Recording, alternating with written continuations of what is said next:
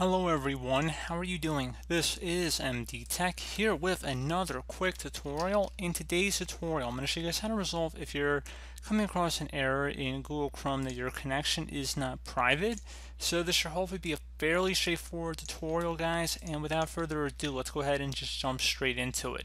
So we're going to start by opening up the Start menu. Type in Control Panel Best match should go back to control panel listed directly above app. So go ahead and just left click on that. Set your view by to category view and then select network and internet. Select network and sharing center.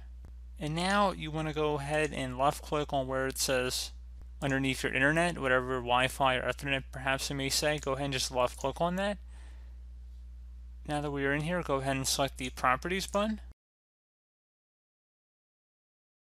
Select Internet Protocol version 4, TCP slash IPv4. Select the Properties button. And now select Use the following DNS server address. And inside of this field, you want to type 8 in the first section, and then another 8, 8, 8. So you want to have four 8s in a row, all spaced out. And in the second row here, for the alternate DNS server, you want to do 8.8.4.4. Exactly how it appears on my screen here. And once you're done with that, go ahead and select OK. Once you're done with that, close it here. With just restarting your computer, see if that resolves the problem. Another thing you can try here is see if your clock and date settings are correct down in your taskbar. So if you were to right click on it and then select adjust date and time, make sure your date and time settings are correct here. If not, you may have to switch it from setting time automatically. You may have to change your time zone as well as changing the date and time manually by selecting the change button.